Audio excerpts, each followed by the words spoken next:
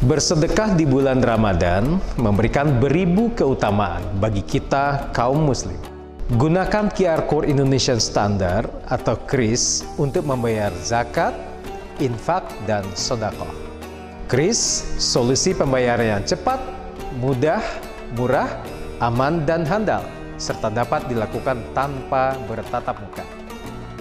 Saya Wahyu Purnama A dan segenap keluarga besar Kantor Perwakilan Bank Indonesia Provinsi Sumatera Barat mengucapkan selamat menunaikan ibadah puasa.